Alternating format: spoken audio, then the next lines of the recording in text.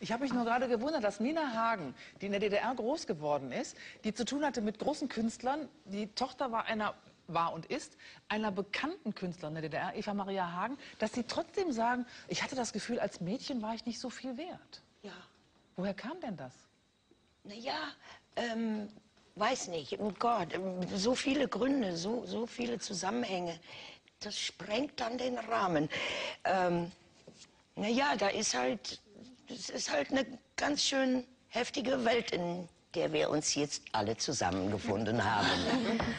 Nina, seit Sie sich, Ja. seit Sie sich haben taufen lassen, im vergangenen August war es, glaube ich, Ja, Haben Sie ein am Israelsonntag, dem 16. August, ich bin haben Sie, ein, haben Sie seitdem ein anderes Lebensgefühl, eine andere Sicherheit? Auf jeden Fall. Aber die Sicherheit geht doch darum, werde ich von Gott geliebt für immer und ewig? Ja oder nein? Die hatte ich vorher auch schon. Ich habe halt versucht, ähm, wirklich ähm, auch andere Religionen zu verstehen, äh, mit meinem Christentum zu umarmen. Und habe alles Mögliche mitgemacht im Ashram und habe dann aber... Sie waren Jahre im Ashram in- in Indien. Aber nicht am Stück. Nee, nee, Alle paar immer Jahre wieder. immer mal wieder hin. Die wollten ja, dass ich ständig hinkomme, aber das wollte ich nicht. Aber ich Sie haben, finde, da, Sie haben im Ashram Gospels gesungen, fiel das nicht unangenehm Ja, auf? die, ähm, auch ganz am Anfang, wo ich diese Menschen kennengelernt habe, habe ich ihnen gesagt, ich bin Christin und, und ähm, die haben gesagt, bei uns ist folgendes Motto, alle Religionen sind gleichwertig, folge der Religion deines Herzens. Und es ist auch eine sehr schöne ökumenische, friedliche Einstellung. Aber das war nur, das war nur, wie sagt man, äh, Maske, Maskerade. Was hinter, ähm, hinter den Türen vorgeht, ist, ist Rassismus. Dunkelhäutige Hindu-Frauen dürfen gar keinen Tempel betreten. Die dürfen auch ihre eigenen heiligen Schriften gar nicht in die Hand nehmen. Denen werden dann irgendwelche Sie haben, Fantasiegeschichten. Sie, Sie haben Nina, auch wenn Sie, jetzt- Sie haben ganz viel ausprobiert in Ihrem Leben. Sie wollten es immer genau wissen. Und Sie haben Ja. in Ihren Bekenntnissen in einem Satz gesagt, Ich bin schon mein Teen wissenschaftlich unterwegs gewesen. Sozusagen. Ja. Sie haben hier drin gesagt, schon mein Teenagerleben nahm Züge eines wilden Roadmovies an. Oh ja. Und wir haben noch mal ganz kurz zusammengefasst viele öffentliche Bilder von Ihnen. Nina Hagen. Wuppi. Hab den Farbfilm vergessen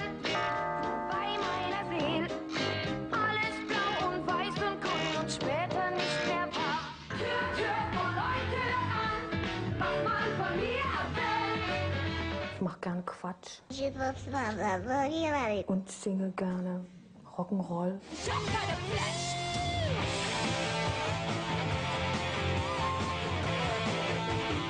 Wenn man mit so einem Lied reinkommt,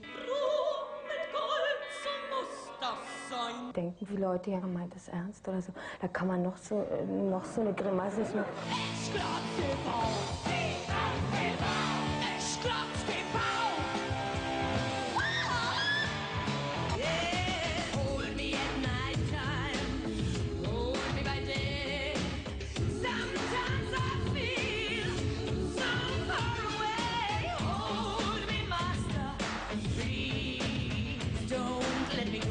Musik, hello, da sind ja schon Herzen gesprengt worden, verschlossene.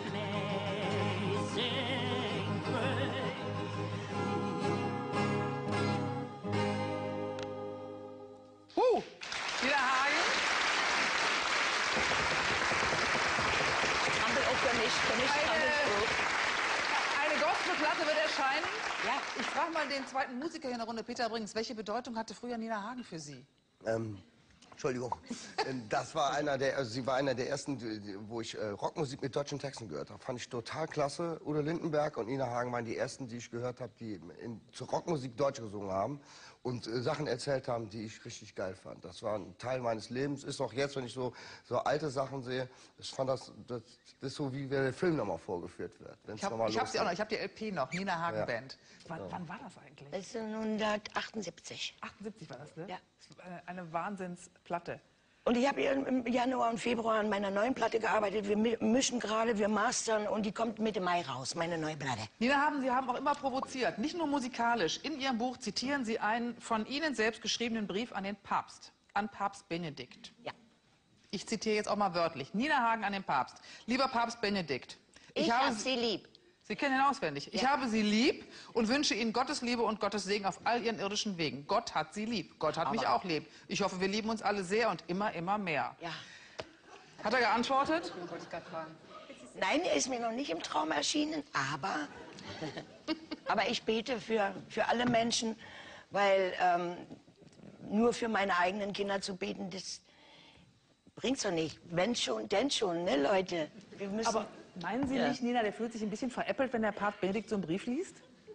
Nö, der kennt mich doch, der weiß doch, dass ich's ernst. der weiß doch, dass ich, dass ich. Ich kann halt lieben nur und sonst gar nichts. Ja, ich bin ja ganz wie Marlene, unsere Marlene. Ich kann halt lieben nur reimen, lieben, singen, schreiben.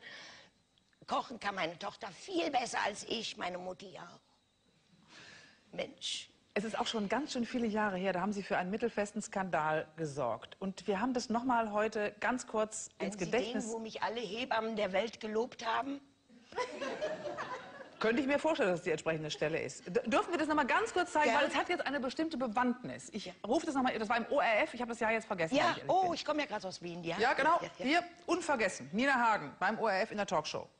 Und wenn die Frauen mit den Boys schlafen, dann müssen sie sich hier anpassen. Man kann sehr schön äh, so, äh, sagt man, man kann auch schön so machen, man kann auch schön so. Man muss immer darauf an, äh, achten, dass die Frau ihre eigene Hand dort hat.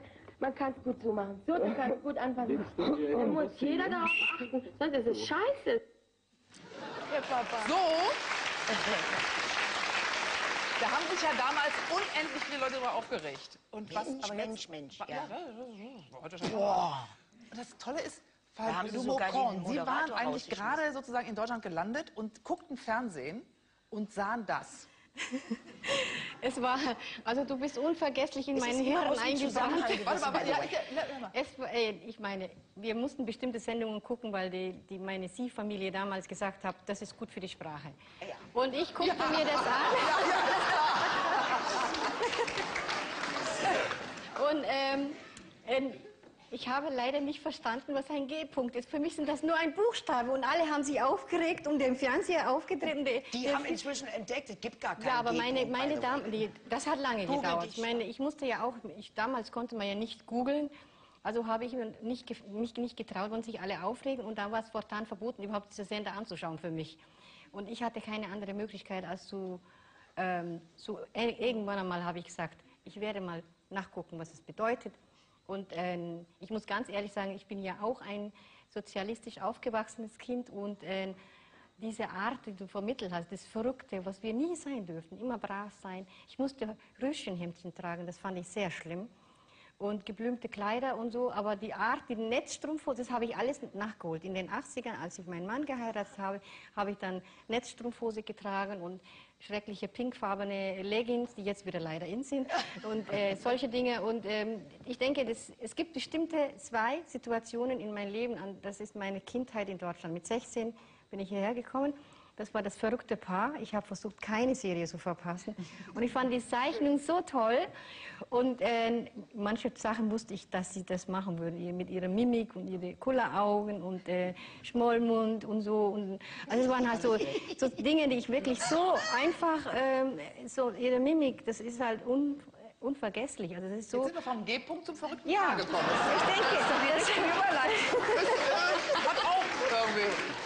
Das hat ja auch mit Körpersprache zu tun. Ich fand es interessant, Ja. dass Sie, weil wir vorher vor der Sendung darüber gesprochen haben, sagte, ja, ich erinnere mich ganz genau, was es für mich bedeutet hat. Es war eine Revolution, dass Nina Hagen sich da so offen auch gezeigt hat, auch provoziert hat. Man zeigt es immer aus dem Zusammenhang gerissen. Warum ich darüber überhaupt gesprochen habe, weil, war, weil da so ein Professor von, über Jugendkultur geredet hat und er hat gegen die Weiber ge gewettert. Der hat gesagt, oh, ihr Weiber, ihr könnt's mir mal alle, ihr, ihr seid ja so furchtbar drauf, ihr mit euren Orgasmusschwierigkeiten. Ja, das konnte ich doch auf uns nicht sitzen lassen. Und Richtig? Ja. Außerdem, außerdem haben, Außerdem habe ich großes Lob bekommen von allen meinen Hebammen. Die haben zu mir gesagt, ich habe also wirklich das Beste draus gemacht. Und, und ähm, es ist wirklich, wirklich, ähm, interessant zu sehen. Leute, die keine Angst vor ihrer eigenen Sexualität haben oder keine unnötige Scham und, und so weiter, die, die machen es gut mit den Hebammen da. Die kriegen dann immer das fette Lob. Ich möchte doch noch mal eben festhalten, dass Nina Hagen allein in dieser Runde für zwei Persönlichkeiten ein großes Vorbild gewesen ist und für viele andere auch. Schön, dass Sie heute Abend hier sind. Nina Hagen!